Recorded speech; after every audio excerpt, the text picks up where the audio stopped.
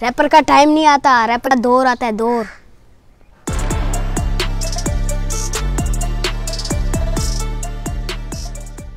मेरा नाम वकास बलोच है और रैप में मेरा नाम थाउज़ेंड है और मैं सिर्फ़ आठ साल का हूँ और मुझे ना रैप करने का बहुत शौक है। मैं सुबह सुबह स्कूल जाता हूँ और जब स्कूल से वापस आता हूँ तो मदरसे का टाइम हो जाता है, मदरसे जाता हूँ। जब मदरसे से वापस जाता हूँ तो ट्यूशन का टाइम हो जाता है। ट्यूशन जाता हूँ, जब छुट्टी हो जाती है तो आता हूँ रैप की प्रैक्टिस करता हूँ।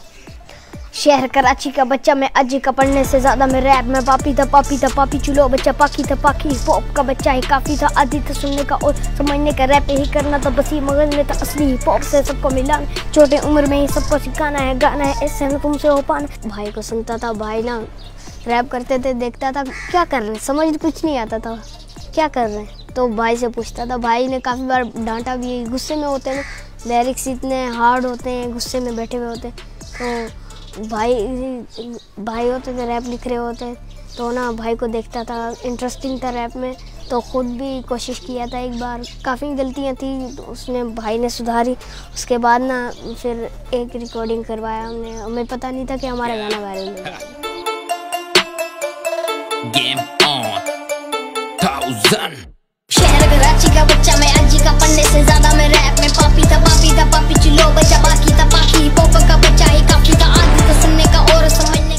वकास का बड़ा भाई हूँ।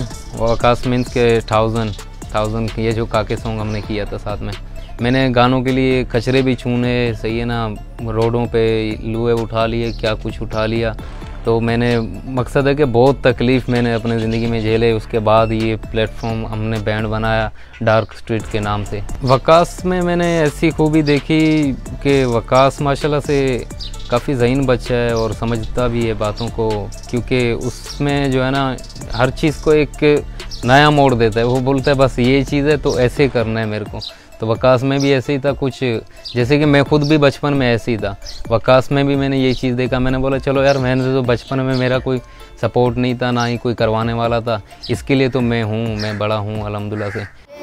दो सब्जेक्ट अच्छे लगते हैं मेरा फेवरेट सब्जेक्ट है उर्दू और इंग्लिश। उर्दू सब्जेक्ट है मैं लगा के पढ़ता हूँ क्योंकि मेरे लिरिक्स भी उर्दू में होता है। मैं वकास को बोलती हूँ कि अपनी उर्दू को इम्प्रूव करें अपने अमला की मिस्टेक्स को इम्प्रूव कर लें ताकि इनको जो लिरिक्स वगैरह लिखने हैं अपने सॉन्ग्स के हवाले से तो ये खुद से लिख पाएँ इनको किसी की हेल्प की ज़रूरत ना हो और ये अपना तमाम काम खुद से अपने एंड पर करें।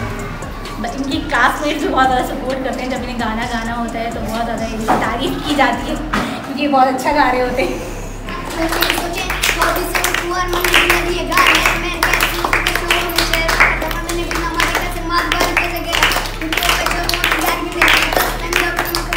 जी, काफ़ी रैप सॉन्ग है जो मुझे अच्छे लगते हैं। लेकिन उनमें एक चीज़ होती है जो मुझे सबसे ज़्यादा अच्छी लगती है।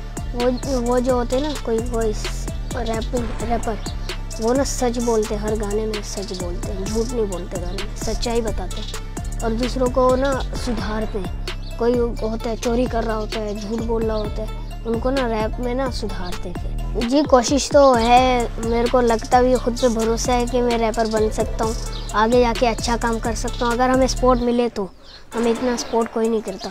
अगर हमें स्पोर्ट मिले तो इससे भी अच्छा हम करके दिखाएँगे और आगे जाके पाकिस्तान के लिए, गरीबों के लिए कुछ करना चाहते हैं।